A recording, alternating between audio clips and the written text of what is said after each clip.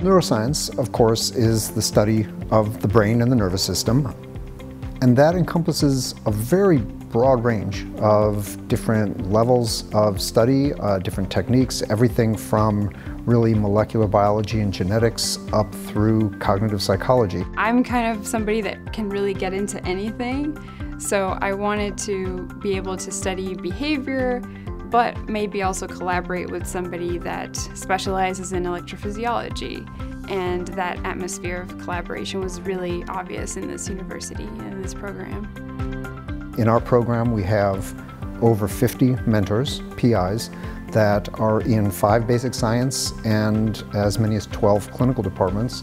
I provide a lot of mentoring. I mean, I meet with everyone at my lab once a week. We have group lab meetings every other week. So there's a lot of mentor-mentee interaction. The opportunities at this school are incredible. The people that you work with are going to enforce not only a strong work ethic in you, but they're also going to be there for you and they're going to support you in every way that they can.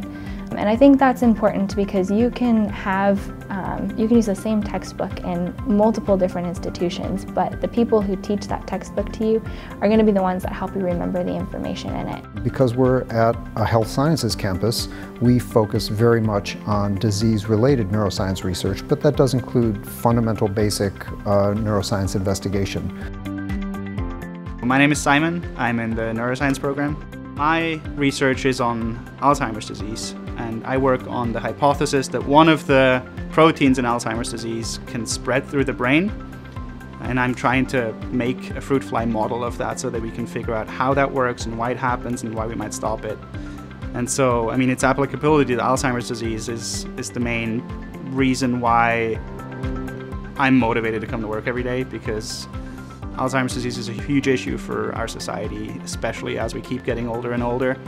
Um, and so I think there's definitely a massive need and potential for new discovery in that field.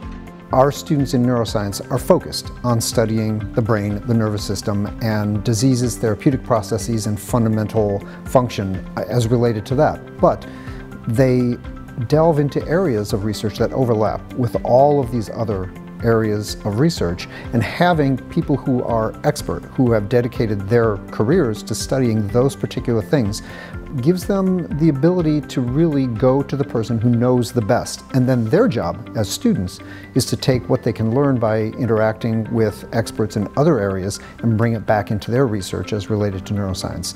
I think that's probably the main advantage of being in an integrated program.